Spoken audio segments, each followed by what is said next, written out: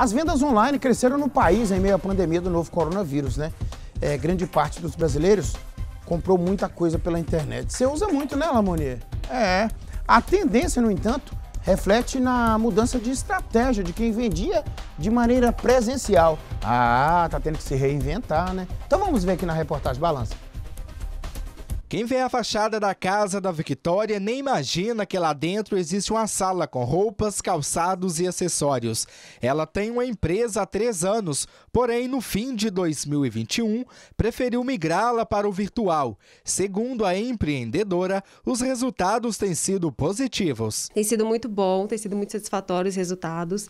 É muito importante ter essa, o brechó, porque a gente muda o pensamento das pessoas que roupa não é descartável, que a gente tem que reutilizar sempre.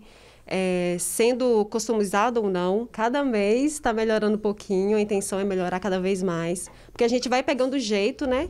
Vai entendendo mais as necessidades das clientes, atendendo e vão melhorando, vai melhorando cada dia mais. Isso é muito bom. Mas quem acha que simplesmente abrir ou mudar uma loja física para virtual é fácil, está enganado. A Victoria pontua alguns desafios que enfrentou para fazer o processo. Porque é bem complicado. Eu, eu, eu sou responsável por todos os processos aqui do Espacinho desde a seleção das peças ao envio. Então, é só a questão mesmo de dar conta de tudo, mas a gente consegue. As vendas físicas ainda continuam em alta, mas de acordo com um levantamento recente, o Brasil lidera o ranking de crescimento nas vendas online. Só neste ano, a alta foi de 22% e a projeção até 2025 é de que haja um crescimento de 60% das compras online. Nesta loja, no centro de Governador Valadares, os clientes encontram joias. Por aqui também há perfumes. Os produtos também são vendidos nos perfis sociais do estabelecimento. A Amanda é uma das pessoas que cuidam da loja online, além de ter todos os cuidados na hora de realizar as compras para a empresa.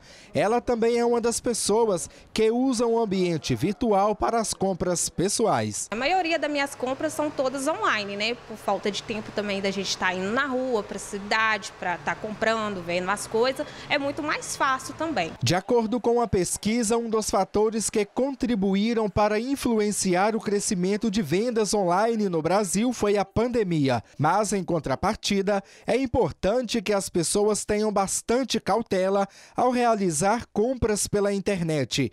Esse professor de sistema de informação repassa algumas orientações. Não clique em link que você não conhece. Então, se você, por exemplo, achar que um link pensar que esse link é de uma pessoa de confiança, mas não tiver certeza, então use a prudência.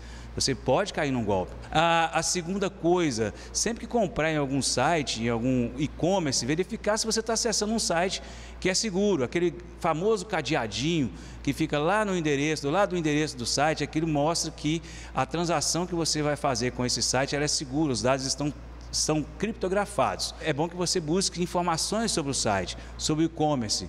Verifique é, é, nos sites de avaliação se esse e-commerce é bem avaliado.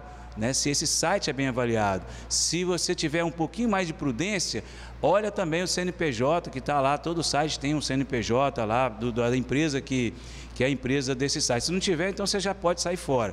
E aí verifique se esse CNPJ está ativo também.